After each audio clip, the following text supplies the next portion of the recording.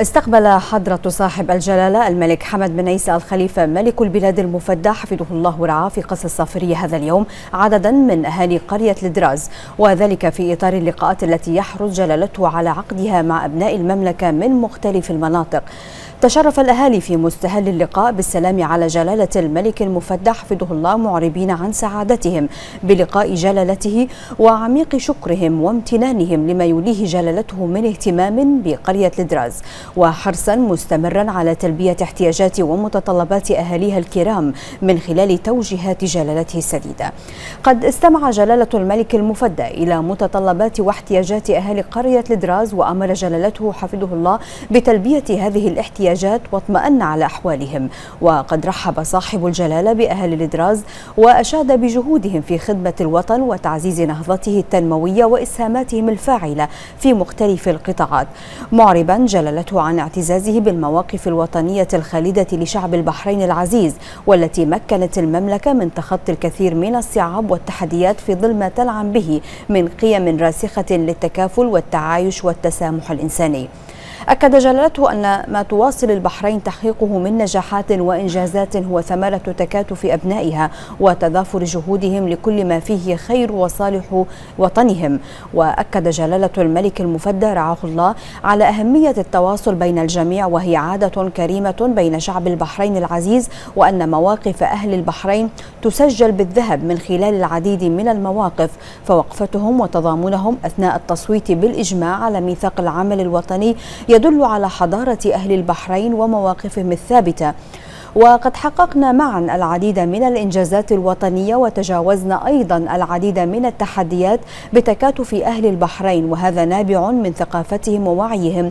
ونحمد الله أن أهل البحرين يتمتعون بسمعة طيبة في بلدهم وخارجها ومحبتهم من الجميع تأتي انطلاقا من حضارة البحرين العريقة. والبحرين بعون الله ستواصل مسيرتها ونموها الاقتصادي وتطويرها في كافة المجالات لكل ما فيه خير شعبها العزيز. أشار جلالته أن المملكة ستمضي قدما بعون الله تعالى في مسيرتها الرائدة نحو المزيد من البناء والتطوير من أجل رفعة الوطن وخير أبنائه وضمان مستقبل زاهر للأجيال القادمة في ظل ما يجمع أهلها من محبة وترابط. من جانبهم رفع أهل قرية دراس خالص الشكر والتقدير والعرفان إلى المقام السامي لحضرة صاحب الجلالة على تفضل جلالتهم بلقائهم والاطمئنان على أحوالهم واحتياجاتهم. مشيدين بالنهج الأصيل لجلالته رعاه الله في الحرص على التواصل مع كافة أبناء البحرين والاهتمام بقضاياهم قضاياهم ومتابعة شؤونهم. سائلين المولى عز وجل أن يحفظ جلالة الملك المفدى ويرعاه ويسدد خطاه وأن يديم على البحرين نعمة الأمن والأمان والاستقرار.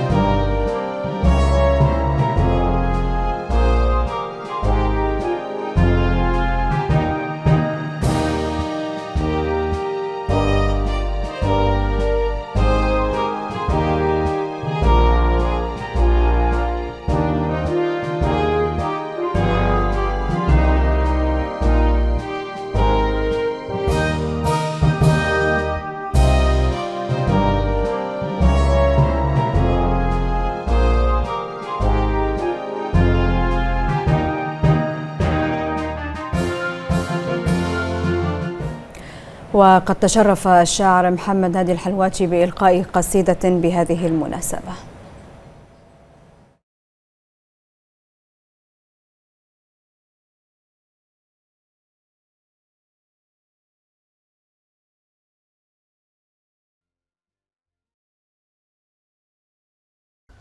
أبيت أبا سلمان إلا تكرما. أبيت أبا سلمان إلا تكرما. فنلت بفعل الخير والبر مغنما. تماديت في جود وأسرفت في ندى ولم تدخر جهدا لتزداد منهما. تمد يدا بالخير والسلم دائبا وأخرى بكل الحب تومي إليهما. تمد تمد يدا بالخير والسلم دائبا وأخرى بكل الحب تومي إليهما. وأدمنت صفحا حثه طيب عنصر وأسرفت في عفو فكنت المقدما عرفت خصالا منك لو أن بعضها تجلى ببعض كبرياء تجهما وأنت ورب البيت قلبا وقالبا تساميت حتى صرت للطيب منجما. وأنت ورب البيت قلبا وقالبا تساميت حتى صرت للطيب منجما. ووالله إني كلما طب ساحتي من البؤس شيء لم أقل كيف أو بما لأني خبرت الجود منكم سجية حباك بها الرحمن فضلا وتمما سمو وأخلاق وحلم وطيبة وقلب كبير ليس يبدي تبرما. براحته طب لمن جعجعت به لياليه حتى صار للجرح بلسما بشوش كريم ذو إبا في مهابة تقاصر عنها القول حتى تلعثما ولولا يقيني أنه ذو سماحة وعطف لما أنشدت والشعر أحجما وها أنت يا مولاي في كل موقف تجسد معنى جاز في الفضل أنجما فإن كنت لا أقوى على وصف جودكم فهذا قصار الشعر في وصف ما سما. فكم صغت من بيت تحريت حرفه ليرقى إلى مرقاك في الجود والنما وقد كنت في سبع وعشر تصرمت أحاول جهد الجهد أن أروي الظمأ ومن ثم في عام به قد تهاطلت علي قوافي الشعر كالغيث إذ هما.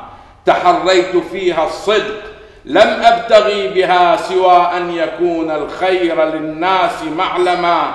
وإن, وأن أنشد الدنيا خصالا رأيتها بكم ليراها بعض من يشتكي العمى فقلت ولم أسرف وغنيت لم أزد على الواقع الملموس قولا ملثما ولا جنحت مني حروفي بشطحة ولكنه شعر بكم قد تتيما ولا جنحت مني حروفي بشطحة ولكنه شعر بكم قد تتيما على أن في قلبي معان كثيرة. لو انطلقت لن تكفها الأرض والسماء. على أن في قلبي معان كثيرة. لو انطلقت لم تكفها الأرض والسماء. وقد ثنيت لي في القوافي وسادة. لأني اتخذت الشعر للمجد سلما. بكم قد أطاعتني القوافي وأبدعت. بشعر به حتى العي ترنما وتعطيه من بين القوافي مكانة لها البعد قبل القرب بالسبق سلما وإن هوى البحرين في كل لحظة يبث بشعر الروح إما تنسما أضاءت حروفي منه حتى كأنه يشع اشتياقا. كلما الأفق أظلما فدا لثراها كل غال ملكته وأرخصت في حبي لها الروح والدماء. هي الكلمة الأسمى التي قد عشقتها. بطهر ثراها القلب حبا تيمما أقامت بقلبي. لم تبارحه لحظة ولولا هواها ما عرفت التبسم ولا ابتسمت روحي لأرض عرفتها سواها وإن حاولت جهدي التأقلم إذا غبت عنها بعض يوم أخالني أعيش فراغا مدقعا. بل جهنم وقد أشتكي ضعفا بلا أي علة. خلا أنني أشكو ابتعادا عن الحمى إليك أبا سلمان يممت قاصدا. وهذا جميل الشعر. عني تكلما سما في معانيه. بكم إذ حروفه إليكم ومنكم قد تسامت لتنظما وجاءتك أبياتي تغني وفي يدي حروف بكم أضحت نضيدا منظما كأني وأبياتي وأحلى قصائدي كتاب من التاريخ للمجد ترجما حوت دفتاه الجود والحلم والندى لفذ ذرى العلياء منها تسنما وهذه حروفي وهي عندي عزيزة كدر نضيد كدر نضيد. باسمكم قد توسما قصيدة عرفان وشكر كتبتها. لتعرب عن حب من الشوق أعجما وتبقى بقاء الدهر تروى كأنها أكاليل ورد بالندى قد تنمنما ولا عجب إذ أنها من معينكم وفخر قصيدي إذ إليكم قد انتمى ودمت أبا سلمان للخير قبلة ودمت أبا سلمان للشعر ملهما ودامت بك البحرين تزهو برفعة ودامت بك البحرين للمجد توأما ودامت بك البحرين للمجد توأما والسلام عليكم.